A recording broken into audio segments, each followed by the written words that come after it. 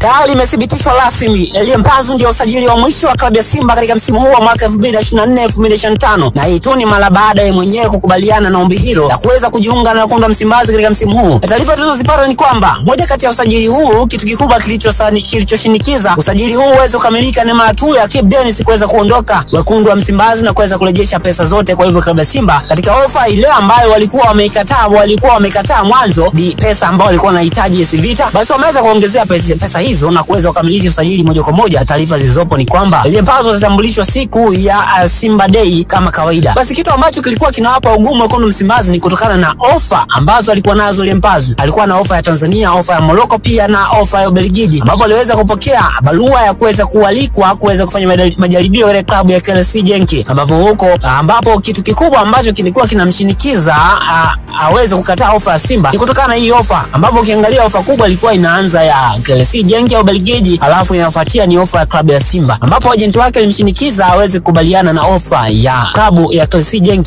huko Ubelgiji, lakini baadaye Aliyempazu yeye lengo lake ilikuwa ni kucheza katika klabu ya Simba, ambapo nyuma ya pazia kuhusiana na swala zima la huyu mwamba, ambapo Simba hawajawahi kuachana na swala la usajili wa Aliyempazu, lakini ukweli ni kwamba walipunguza nguvu kutokana na vikwazo vilivyokuwa vinawekwa na viongozi wa AS Vita, ambapo makubaliano ya kwanza kati ya AS Vita pamoja na Simba kuhusu biashara ya Mpanzu aliyebakisha mkataba miezi minne alikuwa ni dola laki moja na elfu hamsini na Simba walikuwa tayari kuitoa, lakini walipoomba akaunti ya kuweka mzigo AS Vita walibadilisha walibadilisha na wakataka mzigo waongezwe hadi kufikia dola mia mbili na laki mbili na elfu hamsini.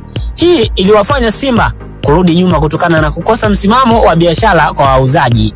Wakati Simba wakiendelea kutafakari, AS Vita waliongeza bonasi mshahara wa signing fees pia kwa Mbazu kumshawishi aongeze mkataba mpya katika klabu ya AS Vita, ambapo hapo iliweza kuwa hivyo. Licha ya ushawishi wote huo, bado Elie Mbazu aligoma kusaini mkataba mpya na klabu hiyo ya AS Vita, na bado hawakukata tamaa, pia waliweza kuendelea kumwongezea maslahi Mpanzu akubali kubaki kikosini. Pazu ameendelea kushinikiza kuondoka AS Vita, amegoma kuripoti kambini na ni mchezaji pekee wa AS Vita ambaye hajaripoti kambini, ikiwa ni siku nane zimeshapita zimeshapita tangu AS Vita waanze uh, kambi ya maandalizi ya msimu mpya. Elie Mpanzu anaendelea na mazoezi yake peke yake. Tatizo la usajili wa Mpanzu kwenda Simba alijawahi kuwa pesa. Simba wana pesa tayari inayotakiwa na AS Vita lakini bado hawajapewa akaunti ya benki inayopokea mzigo huo. AS Vita wakiweka akaunti wanaingiziwa tu pesa chapu.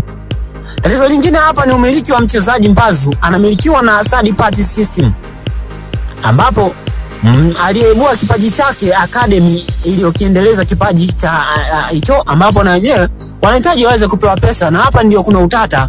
Nani ana mamlaka ya, ku, ya, ya kuwekewa mzigo?